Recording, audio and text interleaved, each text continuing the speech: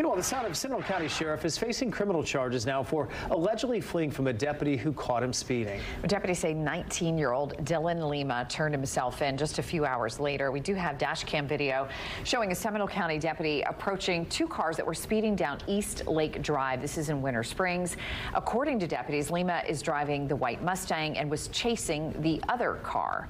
He says that he tried to initiate a traffic stop, but Lemma took off. Officials say Lemma did admit to driving that car when he turned himself in. Now, his father, Sheriff Dennis Lemma, sent us a statement saying, quote, I firmly believe that my family should be held to the same standard as anyone else in the community. And while I love my son and family dearly, they are not above the law. Dylan Lemma is facing charges of fleeing and eluding law enforcement and reckless driving.